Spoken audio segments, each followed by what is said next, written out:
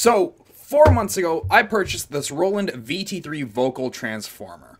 Something I thought would bring up the level of my stream and increase the entertainment factor. You know, everyone on Twitch is always competing with each other to try and have the best quality stream possible, or at least they should. While there were many other options to pick from, like the Roland RC550, I really thought the vocal transformer would give me more granular control and just create a better aesthetical feel since this was the only purpose this device was made for. No looping, no beats of any kind, just straight vocal transforming. And to mixed reactions, we've, well, kind of come to that judgment. But let's take a look and see, as a piece of equipment, how does it work and how good is it?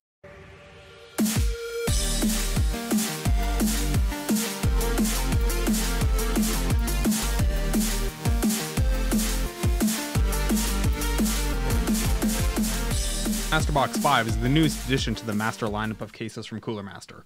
Offering the same fully customizable freeform system, the Masterbox 5 lets you make your own without breaking the bank. Click in the description to learn more.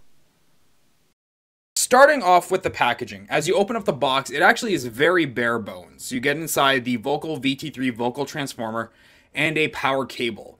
Apparently, Roland is too cheap to include a USB Type B cable. Tisk tisk, it costs like 8 cents on eBay, don't know why they were skimped out on it, but it makes them look very bad. Now, the Roland VT3 vocal transformer is an all metal body. Going at the back, we see that there is an XLR input, an audio jack output, phantom power, an on off switch, USB Type B cable. So, in case you don't want to hook this up to an audio system, you can hook it directly to your computer, and the aforementioned power cable. Going up to the top, you do see that there's two knobs one for mic volume and one for just regular volume. This is how you're going to dial in to get the perfect vocal sounding effect. And then, of course, moving into the row below that, we see there are a number of buttons. And if you're like me, buttons make you happy, rubber buttons make you happier, and glowing rubber buttons, they're just they just make the entire day for you. And of course, with the beautiful glowing green aesthetic, it does offer a nice, pleasing visual feel when you're looking down at the unit, but that is the same aesthetical feel they've kept with the entire Aria line. Now, there is the robot voice, which for some reason got its own button, manual setting, three profile settings, and then the bypass, which really should have been labeled what it is mute. It is how you mute the vocal effects so that way you get a normal sounding voice and not the robot or bassy or high pitched 12 year old that you're currently dialed into. Going below that, you see that there are two sliders on each side.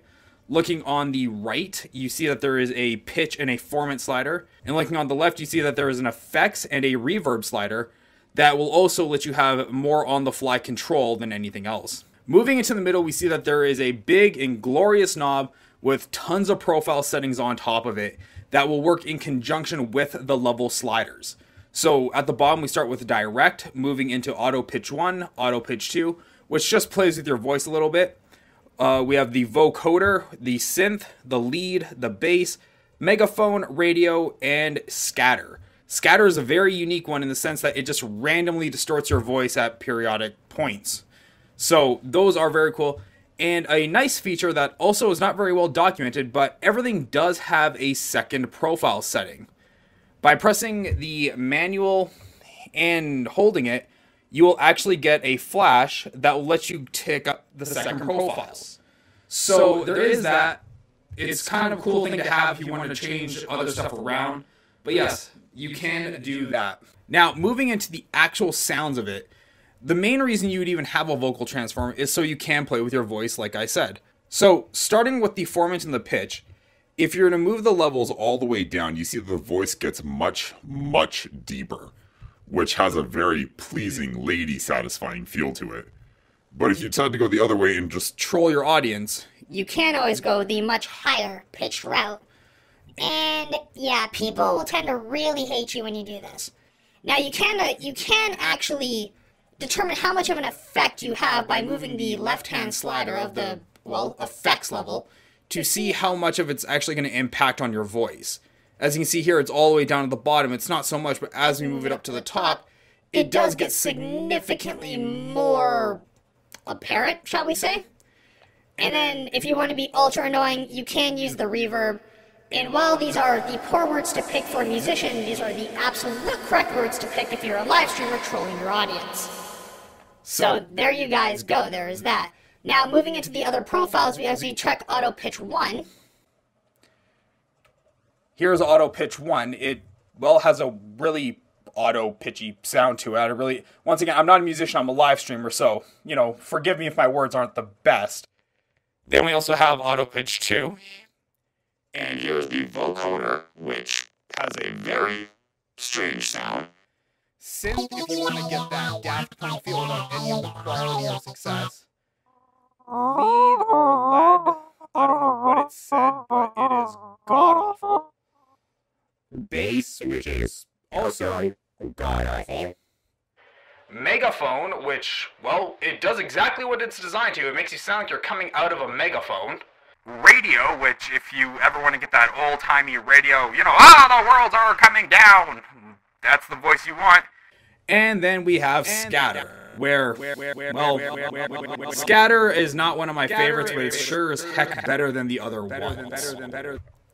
So that is the vocal transformer by Roland, the VT3 is an incredible piece of hardware. It costs about 199 American, 299 Canadian, but it is a significantly better option if you want to just play with your voice with a piece of hardware. While there are softwares that can do this, it's not something I am really all that fond of. I've never been a fan of software putting more load on your CPU while you're streaming and doing all your other things is just never a good idea and even my computer can easily handle it, I still don't want to put that extra load. Something breaks, you have to restart everything. It's just a giant pain. I've always been a hardware kind of guy, and it's how I'm always going to be. But I am very satisfied with my purchase of this Roland VT3 for my stream. It's done everything I wanted to. Maybe not to as high a degree as I wanted, but I also had pretty high expectations going in, considering my only frame of reference was the Roland or Boss RC550, which is about double the price of the VT3. So, you know, manage your expectations accordingly. Remember, you always get what you pay for in this world. But overall, Roland did a good job. I'm happy with it. Guys, thanks so much for tuning in. Remember, like, comment, share, and subscribe. If you want to pick up your own VT3, check the link in the comment down below. I've been Rex. This has been, well, a review of how to annoy your, your viewers on Twitch, and I'll see you next time. Bye, guys.